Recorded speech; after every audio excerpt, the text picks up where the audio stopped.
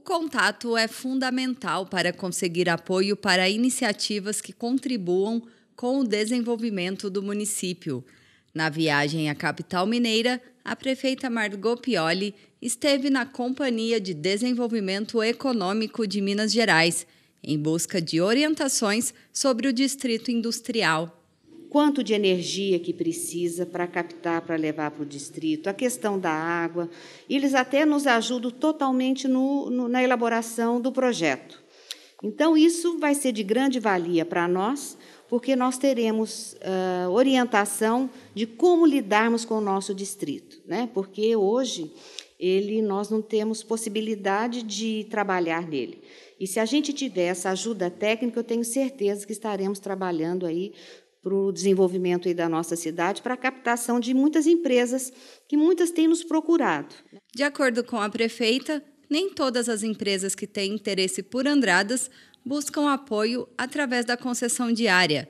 Dependendo da oferta e se tiver dentro das possibilidades, a Prefeitura auxilia e aceita os pedidos de novos investidores em outros quesitos. Um barracão lá na saída do bairro do Óleo, e ela vai se instalar aqui, é uma empresa pequena por enquanto, serão 19 ou 18 empregos.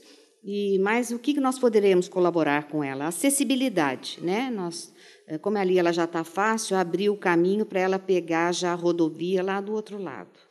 Então, a gente está aqui coordenando, é, com essa consultoria que nós contratamos também, é, temos feito também, não é só o trabalho de captar empresa, de atração de empresa, não. Estamos fazendo um trabalho muito bacana junto às nossas empresas para fazer o levantamento, o que elas estão precisando para o seu crescimento, para a organização, já estivemos junto à ICASA, essa semana estaremos junto à Cooler, né? o pessoal da Secretaria de Desenvolvimento, porque mais importante também que trazer é que as nossas empresas aqui também recebam o nosso apoio para continuar esse grande desenvolvimento para a nossa cidade. Quando falamos em desenvolvimento, logo vem em mente a rodovia do contorno. O trajeto é essencial para que caminhões que transportam mercadorias passem por Andradas, sem dificultar o trânsito nas ruas centrais. A prefeita relata que esse tema sempre é lembrado para que o governo tome as devidas providências. É muito importante quando você faz, você, é, reivindica uma obra para o seu município, que você se faça presente para lembrar o tempo todo que o município precisa, né? A nossa visita foi com esse objetivo, né? de estar junto ao secretário Fernando Marcato, que sempre nos recebe muito bem, com a sua assessora, a Carolina.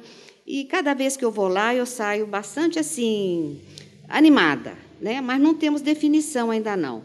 Existem dois, duas possibilidades eh, que a gente está aguardando aí, eu estou bastante animada. O que a gente mais quer hoje é essa contorno, né?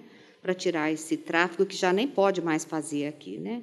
Mas você imagina quanta coisa que nós poderemos ter em vista disso. Por exemplo, nós, se precisarmos ampliar a nossa área de, de distrito industrial, é, tem que ver a questão de valor. Essa região aqui está um pouco cara. Se pega um pouco no campo, né, com a contorno, você pode viabilizar um montão de coisa a bem da cidade para o desenvolvimento. Em Belo Horizonte também aconteceram visitas com interesses na área de educação.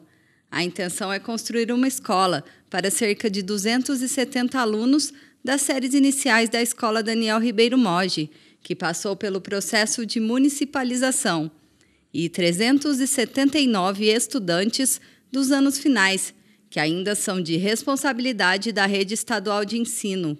O governo do estado lançou esse ano o programa Mãos Dadas. Com esse programa, ele beneficia muitos municípios que vão municipalizar o ensino. Só que o nosso já foi municipalizado o exercício anterior. E os benefícios viriam em decorrência da municipalização desse ano, para entrar nesse projeto Mãos Dadas. Então, já é a segunda vez que eu estou lá, junto ao pessoal da Secretaria de Estado de Educação, para pedindo, solicitando e mostrando a importância de Andradas também ser incluída nesse programa, porque com a municipalização, alguns alunos estão sem, sem espaço, sem a escola. E a gente está reivindicando a construção de uma escola.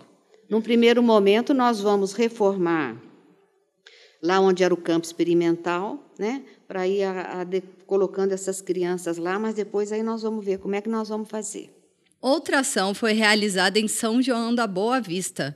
A prefeita Margot Pioli e a secretária de Turismo Celisley Coral de Pontes participaram da Assembleia do Caminho da Fé, onde foram discutidas as questões da pandemia, prestação de contas e escolha da nova diretoria. A rota de peregrinação completa 18 anos.